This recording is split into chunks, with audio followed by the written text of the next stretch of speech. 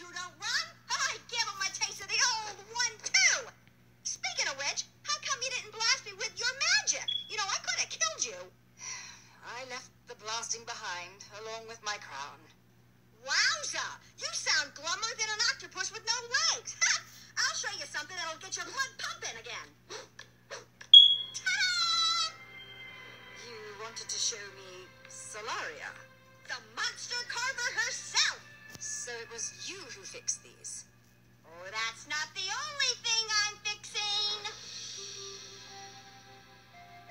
What is this place? Gaze upon its beauty. Are these yada yada berries? Grow on myself.